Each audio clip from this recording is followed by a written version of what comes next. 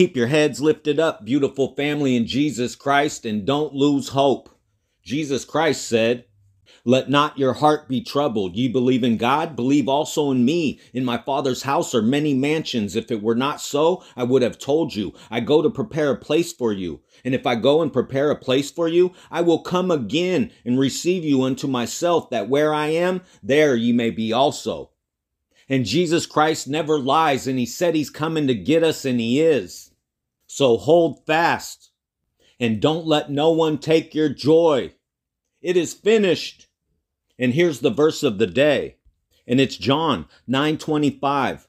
He answered and said, Whether he be a sinner or no, I know not. One thing I know, that whereas I was blind, now I see. And all glory to our Father in the name above every name, Jesus Christ, for giving us eyes to see and ears to hear. And he told us right where to look for his signs in the sun, the moon, and the stars. So that's what we're going to keep doing until he comes and takes us to our Father's house. And as you can see right here in Israel, they're expecting the new moon right now. And when you go to renewedmoon.com, you can see that it was already confirmed globally, but it's still pending over Israel. And most of you know that Israel is on super high alert and that Iran is warning Israel that its embassies are not safe after deadly Damascus strike. And it says right here that Israeli Prime Minister Benjamin Netanyahu said Israel was prepared for any response. And as you can see right here, it says Iran's top commander warns that Israel committed suicide with the Damascus attack. And most of you know this too. The Iranian general that was killed in the Damascus strike, they're saying he's the one that planned the October 7th attacks. And by now, I'm sure most of you know when you go to Amos chapter 1, it says that Gaza will be punished, and Jordan, and Lebanon, and Damascus, and then Israel and prophecy will be fulfilled. So keep your eyes on Damascus, family.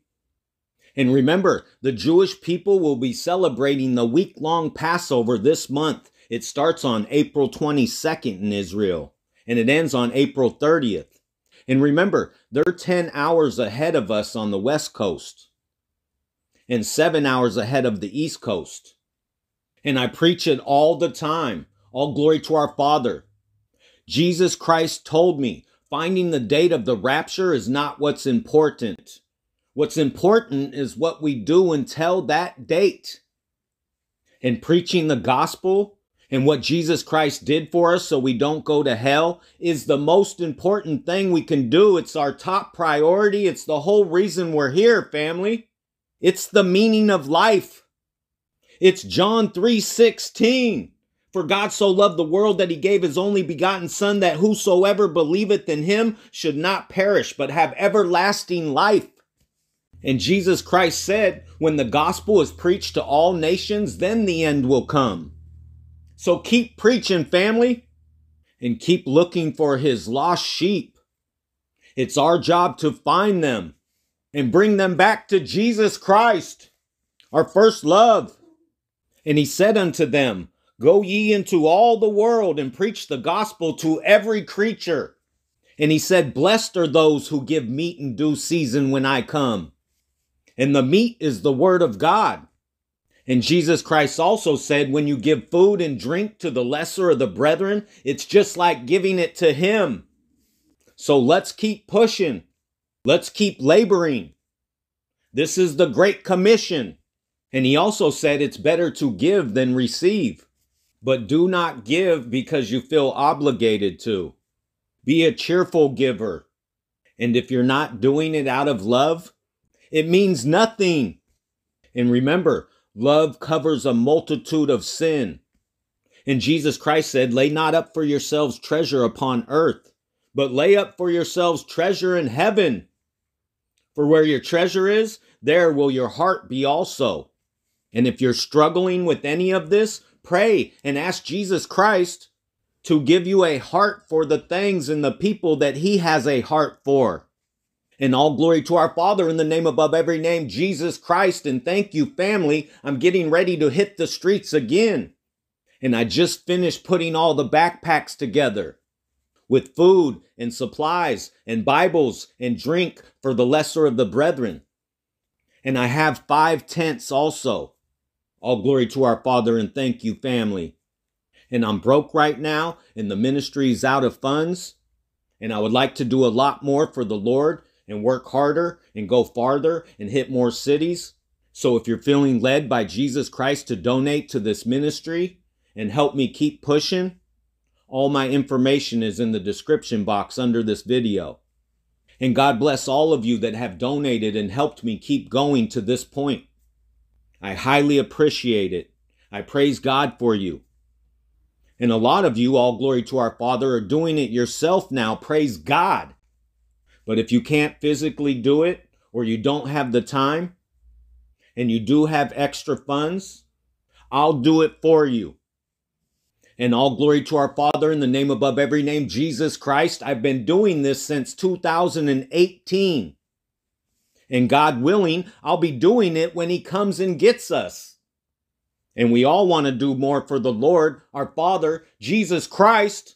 So let's go all the way up and keep looking up. Keep your heads up. Now back to Passover, and one of the reasons this is so gigantinormous that it falls on April 22nd, this comet that we've been watching, Pons Brooks, that they're calling the devil comet, which really means the bridge and the water.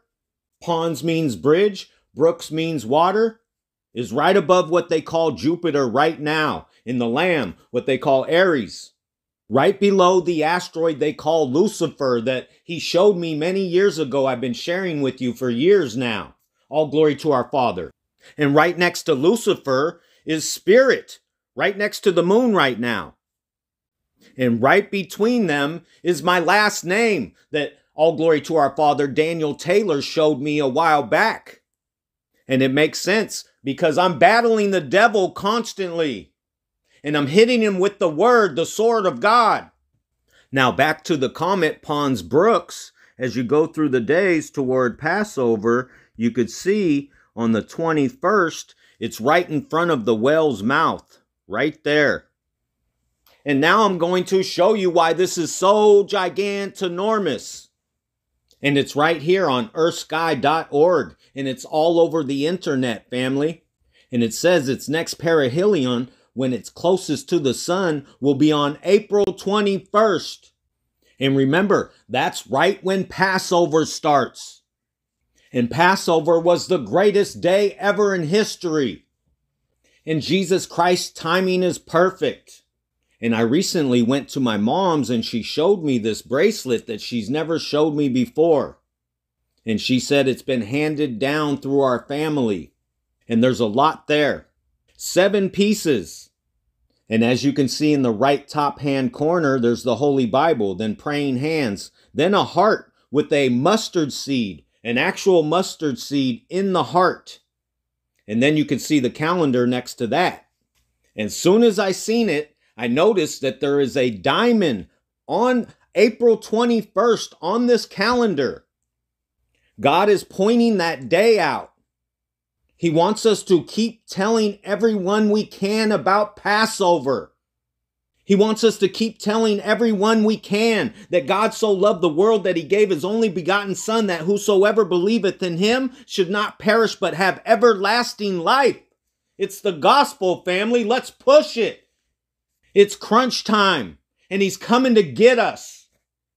Keep your heads up.